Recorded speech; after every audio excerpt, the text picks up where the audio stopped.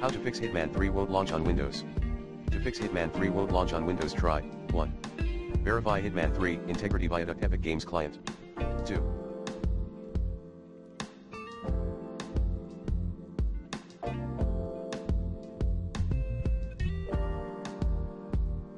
Update your graphics driver using the recommended Avast driver updater in this video guide.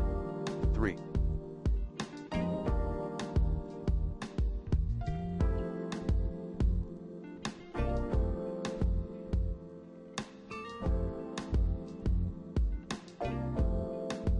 Allow the Hitman 3 app through Windows, Defender, Firewall. 4.